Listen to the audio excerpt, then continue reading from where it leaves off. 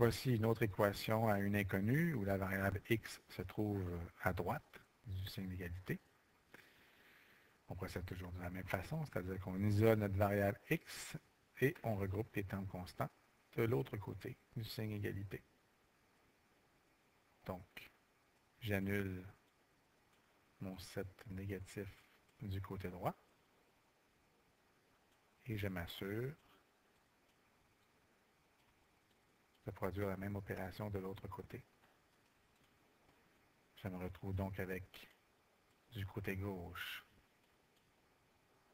15 plus 7 égale x, puisque j'ai annulé moins 7 en faisant l'opération inverse. Je me retrouve donc avec 22 égale x.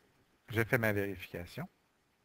Est-ce qu'en remplaçant mon x dans l'équation de départ par 22, j'obtiens 15? Voyons voir. 15 égale 22 moins 7. C'est bien la réponse. Je peux résoudre cette équation à l'aide de la technique de la clôture.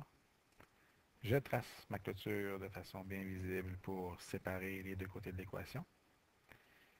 Et je m'assure que le moins 7 du côté droit saute la clôture et je m'assure également de changer le symbole.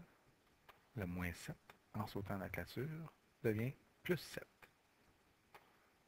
Je me retrouve donc avec du côté gauche du signe égalité 15 plus 7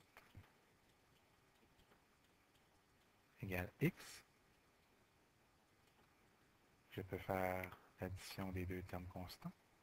15 plus 7 donne 22. 22 égale x. Je vérifie ma réponse. Est-ce qu'en remplaçant la variable x par 22, j'obtiens une égalité? 15 égale 22 moins 7. 15 égale 15. Vérification faite.